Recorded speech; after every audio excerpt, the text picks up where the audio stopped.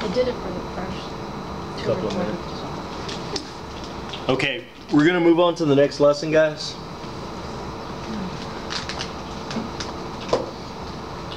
And it's it's talking about braces and dictionaries, and uh, dictionary entries and stuff like that. Okay. Let's see how braces are used for special text within dictionary entries. Dictionary entries. Eclipse dictionary entries use braces to surround text that must not be inserted literally. This includes paragraph symbols, punctuation marks, prefixes, suffixes, and other entries that you don't necessarily make every day. The Globaling and Dictionary Entries dialogues offer help for creating special entries. You can either press Control E or drop down the list. Where entries require you to type, as in the case of a suffix, your cursor is automatically positioned at the spot where you need to type text. While globaling, you can use shortcuts to insert symbols for paragraphs or punctuation. Thus, F2 opens the speaker list so you can choose a name that's already there or insert a new one. F3 inserts the symbol for a question and F4 an answer. To insert the symbol for a comma, press Control comma. Likewise, Control period.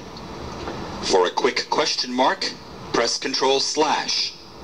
There's also Control semicolon and Control colon, which would involve the Shift key.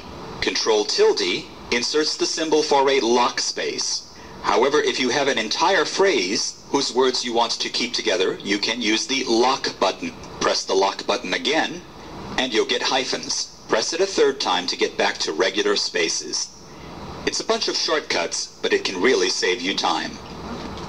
Does that make sense? So what's the difference between doing the lock with the tilde and just leaving it with just plain spaces in between each word? Does that make sense? Let's see how braces are used for special text within braces are used for special text within dictionary entries. Eclipse dictionary entries use braces to surround text that must not be inserted literally. Okay, y'all understand what it's saying there? When you put these when you put these brackets in there, mm-hmm. Eclipse already knows what to do. You don't have to tell it what to do. You don't have to put a for answer period space space space to where it, you know, it already knows what to do just by putting those brackets. So you don't you don't have to put you don't have to do anything else. That's all you have to do for your question answer symbol. And you'll see when you get started. I mean, you got you guys are so much more um, advanced than like I was, because like when I first got out, I had to use somebody else's dictionary. We didn't even have dictionaries. I had to use someone else's because we didn't really do it in school. So I mean, I had somebody else's dictionary. Well, you know how many different ways you can write the answer symbol? literally about 50,000. It's, it's some astronomical number of how many different ways you can do it by leaving one letter off with as many letters are in this, the answer symbol. Does that make sense to you guys? So every time, you know, and it's it's gonna know. Auto Magic Keys is gonna know. So I mean, you know, you're gonna put it in, it's gonna go in your dictionary or whatever, but it's it's gonna know. So, I mean, there's a lot of different ways of doing it. And when you do it, you know, it just gives you the shortcut, you know, of, of just doing the A with the brackets. So the brackets already know, you know, what it means when you put the A in there, the capital A in there. It already knows that it is the answer symbol. Make sense? Okay. This includes paragraph symbols, punctuation marks, pref And on the punctuation marks, punctuation mark, you know, it already knows, it already knows the different things. So it, it already knows, once you do the brackets with the comma, it already knows put the comma, space, next word. You don't have to put the comma, space already, because then it's gonna have two spaces when you do it. Then it's gonna look messed up. You know, so it already knows, once you put that bracket, it knows what to do. Question mark, any of that stuff. Dashes, it already knows what to do. Does that make sense? Mm-hmm. prefixes, suffixes, and other entries that you don't necessarily make every day. On the prefixes and suffixes, you want to put it in there the way that it's the way that it's supposed to be. So, you know, when it's when it's ed and it's at the end of a word that ends with e, you don't have to worry about that because Eclipse already knows chop the one e off, add the ed. So it's not going to have two e's at the end of it. It already knows if you put it in there correctly with the brackets, caret means put the word together at the end, ed, it already knows what to do. So even if it's IED, it already knows to do that. Make sense? Same thing on a, on a prefix. You know, on the on the prefix is different because it's going to be before. You know, so it's going to have it right here. You're going to do the word first, then. You have to be careful because you have to be careful where you put this caret because that's where it knows where to put the word. Whether to put it at the beginning or the end. Make sense?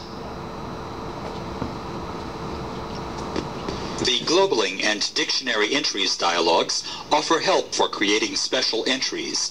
You can either press Control E or drop down the list. See, and, and when you push Control E, it gives you all of these different um, categories of what you want to do. So it, you know, if you want to put a speaker and it knows to put the speaker in there, it already knows. That's the symbol for it. So then it's going to bring up your. It's already going to know to bring up your speaker list. Once you once you put it in like this, it's going to know bring up your speaker list. Does that make sense?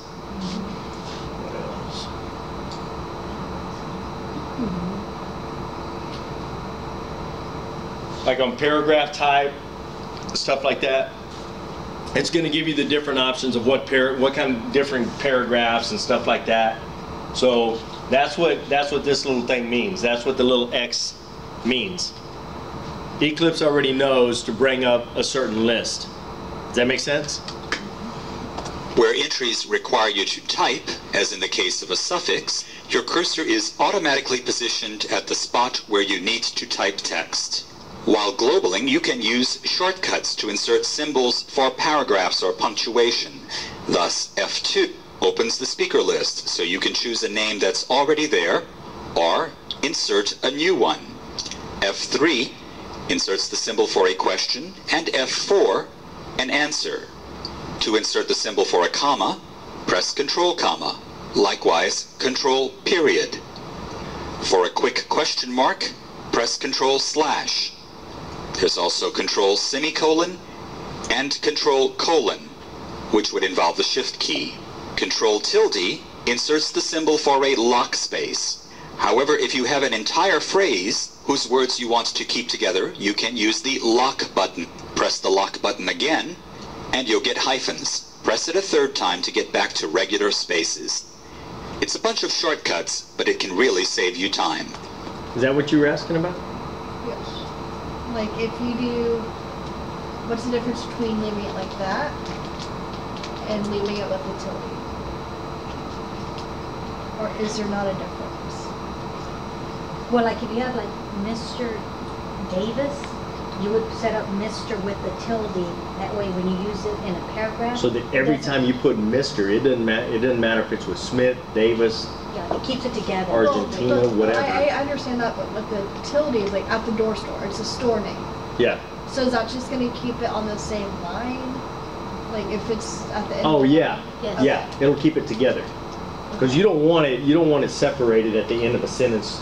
You know, and, and I think that's I think that's what you're asking, isn't Yeah, it? it is. Okay. It N, and you'll get hyphens. Press it a Control tilde inserts the symbol for a lock space. However, if you have an entire phrase whose words you want to keep together, you can use the lock button. Press the lock button again, and you'll get hyphen, which would involve the shift key. Control tilde inserts the symbol for a lock space. However, if you have an entire phrase whose words you want to keep together, you can use the lock button. Press the lock button again, and you'll get hyphens. So if you know if you have um, Christus Santa Rosa Hospital, and you want to keep that together, then that's how you would define it. And you just keep pushing the lock, and it knows to change it. Make sense? So do you recommend like Mr., Mrs., Miss, Doctor. We should Oh, set yeah. it up like that Yeah, with the lock? Yeah. So when we put the because name you in never place want Mr. at the end and And- Smith, At the beginning of a new No. sentence, right? Your Honor. Never want those You separated. want the tilde. You know, when they're talking about the court, you never want those separated. So you always want that tilde. Does that make sense, guys? You up? All right. No, on, real fast, Your Honor, Yeah, do you capitalize the line more? yeah, Okay, yeah. 'Cause that's like, uh, it's part of the name. yeah. But I mean, it- it's and it's kind of weird because like the court, when they talk about the court, and they're talking about Your Honor, the isn't capitalized. The court is, but Your Honor is. Your and honor is. Yeah. I Okay. agree with you. Okay. Some people don't. Does that make sense? Some people Why? She thinks the should be lowercase. Really? Okay, and that's that's what what keeps the words together is the tildes. Okay, that make sense? Press it a third time to get back to regular spaces. It's a bunch of shortcuts, but it can really save you time. All right. Y'all got that? So this kind of gives you some of the different uh, options of what you can do, you know, with some of that stuff. Um, and and I think I've, I've kind of told you guys F2 kind of gets you into the uh, into the field. Let's see if we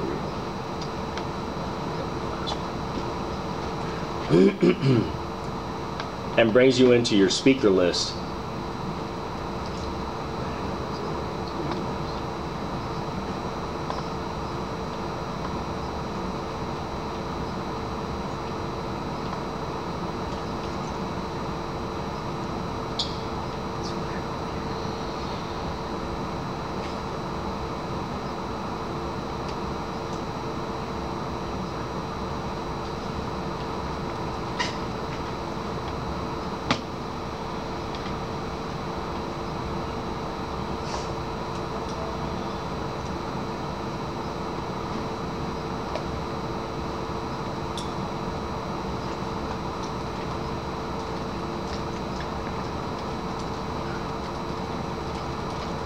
Okay, so say you're here, you want to put in, you know, your attorney, F2, brings up your speaker list.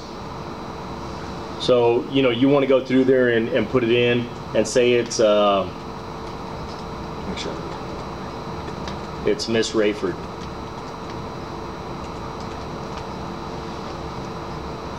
And then that puts it in. Okay? But say you want to global it throughout the whole thing, well, that's my that's my symbol for attorney three. So let's just put it back in there. So say I'm here at attorney three, you want to go in there, control G, globals it, brings it up, brings up your attorney list. You know what? I want it as Miss Rayford every time throughout this hearing. You choose Miss Rayford, enter. I don't want it in my main. I don't want that symbol to come up as Miss Rayford every time because she's not going to be attorney three every time. Control J.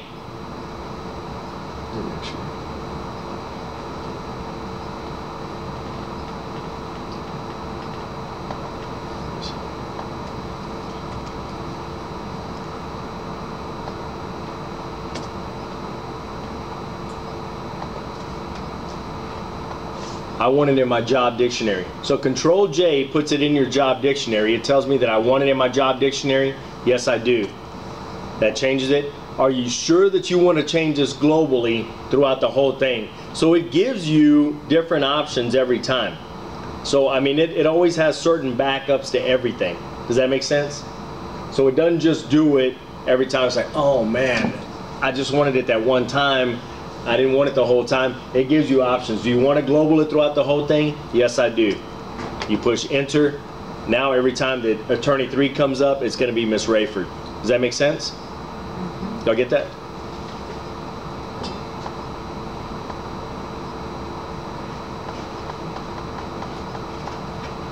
Okay, and that's just some of the some of the different uh, what it looks like when you go in there and define the different option the different options of what you want.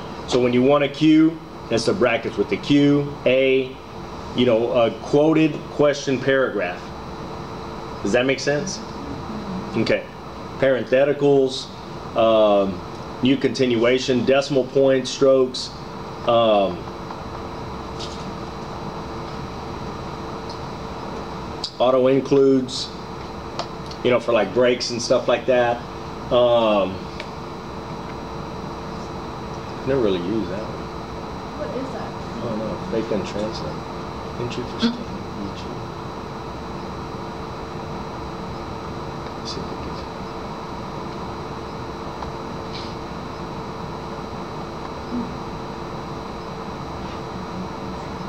Creates check. Which behaves as an. Oh, it gives you the uh, oh on an untranslate. So if it, it if it comes up as an untranslate, that's how you define it. If you want it to come up as an untranslate, you know, for certain, that's how it's going to come up. That's the symbol for it. Okay? Does that make sense? And here, this is just kind of a little exercise of, you know, what uh, what you can do. So you go through, you press T, Alt G.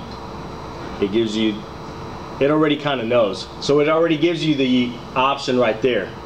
Number one, because it is the answer symbol, enter, and that's how you define it. Okay? So now it's in your dictionary all the time. Go to the next T.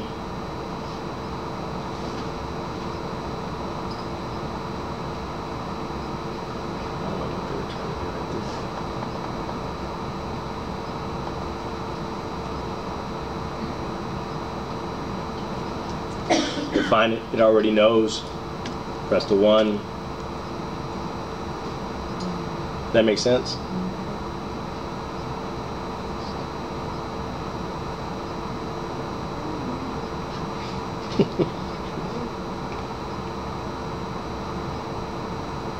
All right. Now it's going to talk about punctuation. And, you know, we, we kind of went over that or whatever and what the different symbols are for the punctuation and put in the brackets. It already knows what to do with the punctuation. So you don't have to go through and tell it, you know, I need, you know, a comma space and then the word. Or if you do a colon, you don't need the colon, space, space, capital. It already knows to do that. And that's just how you define it.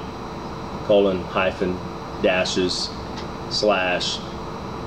Um, on the on the delete space, it keeps it together. So the, the caret keeps it together. Um, lock space keeps it together. So like you know the caret is for you know like Mr. and Mrs. Doctor. When it's a specific Mr. and Mrs. specific doctor, stuff like that. That's what that's for. Does that make sense?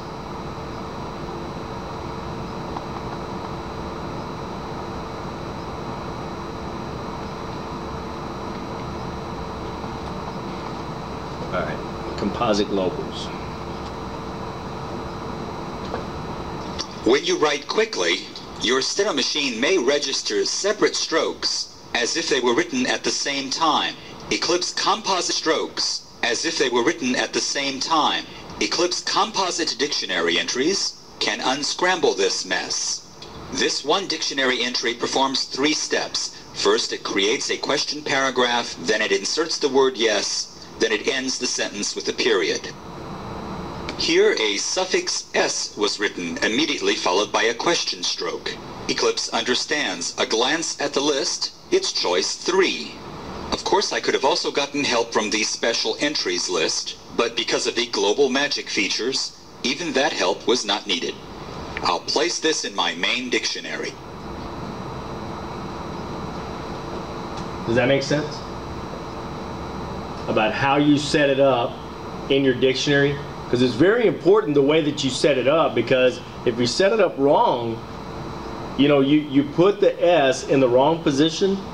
Say you put We'll go through it again, and then I'll kind of explain as as it's going along.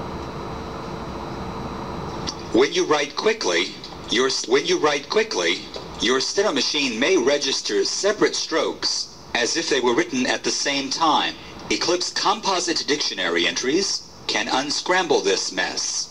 This one dictionary entry performs three steps. So say you went through there and you put yes, question, period. It's going to set it up totally different. So you have to make sure you know what you were doing there. You know, if you wanted it, if it was a if it was a suffix at the end of the sentence, and they kind of did it in a little bit further up, and they'll kind of show it again. But if you did it as a as a as a suffix to the end of the word for the end of the sentence, press the press the um, question symbol and then press yes, then you have to you have to define it correctly. I know that sounds kind of stupid, but you have to define it correctly because if not, it's going to define it the way that you put it in there.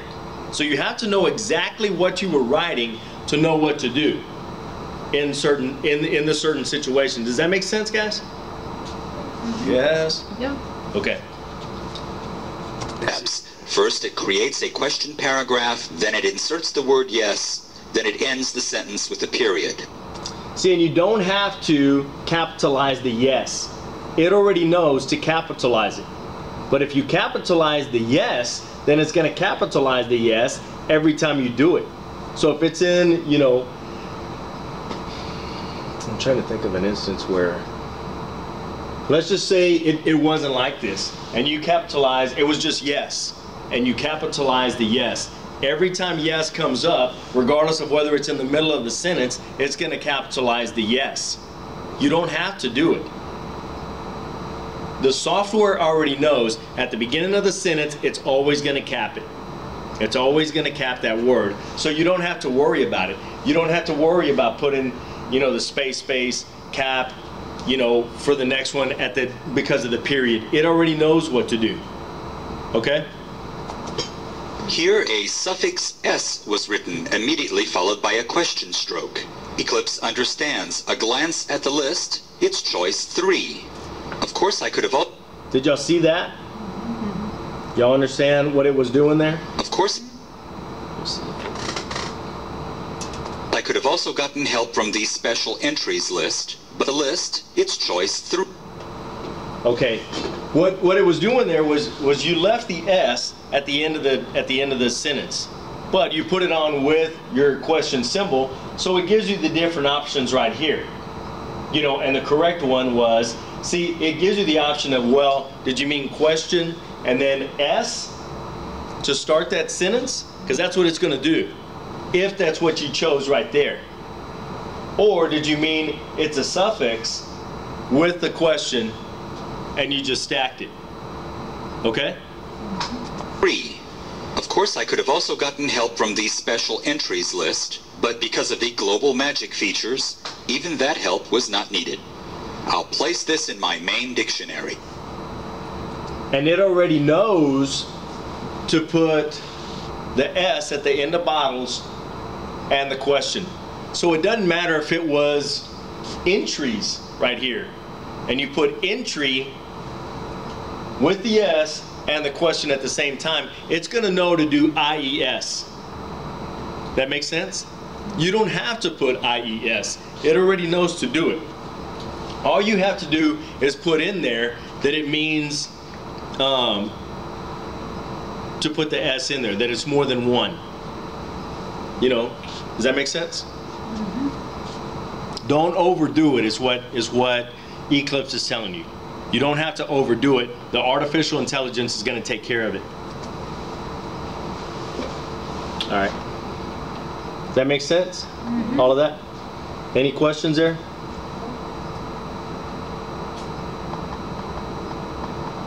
And here it's just kind of giving you some options of if you stack, you know what what the definition would be. So I mean, and I don't I don't know. They were starting to teach you guys to stack some of your stuff, weren't they? Like question or you know yes and no and and stack the thing to keep it as one stroke. I know that they were doing that there for a little bit, or some of the students were doing it. A lot of my strokes are like that. Are they? They On purpose? list. Yeah. Are they extensions? Oh, which is good. Yeah, extensions. I, I mean, it's a good thing. If you can, if you can read it and you know what it's doing, great. You know, it cuts out a stroke. You know, so that's it's good. So that's how you would define it. You have to know how to define these. You know, it's really important if you're going to do that type of writing. That makes sense? Mm-hmm. Okay. And that was right here is just kind of giving you some of those examples. You know, if if you want to do that. I mean, there there's three strokes right there, guys. Three strokes if that's how you're writing. You just eliminated three strokes. So, I mean, it's it's actually pretty good. If you can, if you know what you're doing, then it's great. But if not, you want to be careful, and you need to know how to how to define it because if not, then it's. I mean, you're not doing yourself any justice. You're not doing yourself any good. But if you know how to define it, then you're going to be way good.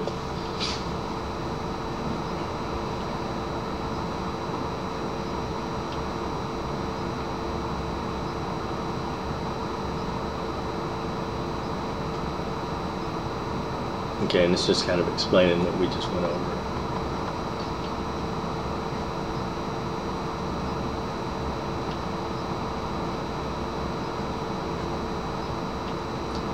And this this is just kind of a little exercise, you know, of, of doing it, you know, whatever. So you you know you just define it. It already knows that it's the period, or it gives you the option of, of if that's what you meant. Press number one, enter. That's what it does. Capitalize the next one. It's the same thing. You just kind of misstroked it or whatever, so it's no big deal. Define